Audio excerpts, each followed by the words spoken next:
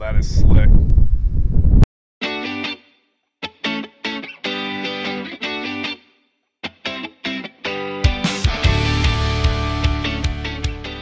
What's going on guys? Right here I got the Thunder Creek 750 FST model and let's walk around this one and I'll show you all the specs on it.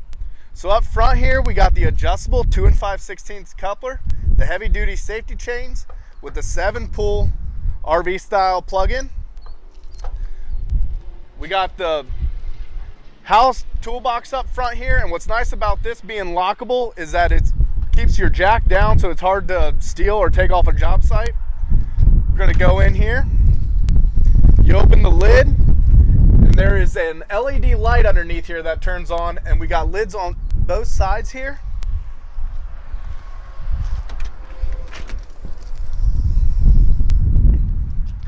And then inside this compartment, we have a 100 gallon poly def tank. Now Thunder Creek runs a poly tank because uh, DEF does freeze, and if it freezes up, it will expand and contract on this tank, and it won't crack it like the steel ones will on the competitors.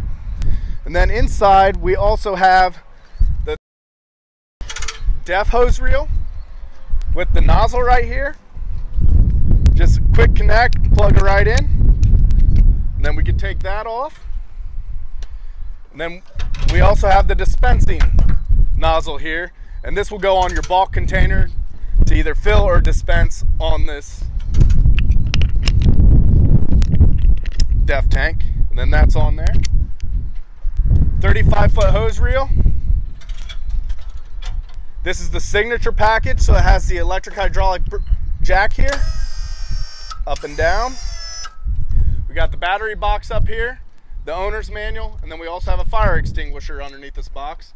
And then this steel little plate here is nice if you ever want to add a toolbox or anything up in here. And then we got the bulk diesel tank pump here. And this is a 40 gallon per minute gas tank. And then we also have the 35 foot hose reel on this one too.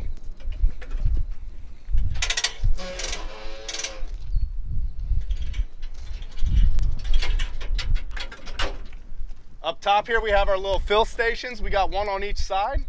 And when it spins freely like that, that means it's locked up. And then we also have a solar panel charger up top there too. This one has aluminum rims on 14 ply tires. And on a lot of these Thunder Creeks, you'll see this gray fender. They all run gray fenders, that way they're easily replaceable if they do get damaged and you do not want to step on this.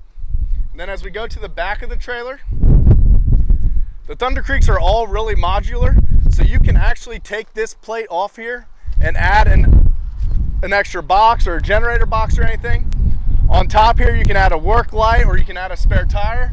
Just the possibilities are endless with these Thunder Creeks. Uh, the really nice thing is the efficiency that it helps with your operation on the farm. And you are hazmat exempt for farm use on these trailers. And that is everything for this rundown. If you have any questions, give us a holler here at 419-394-4408.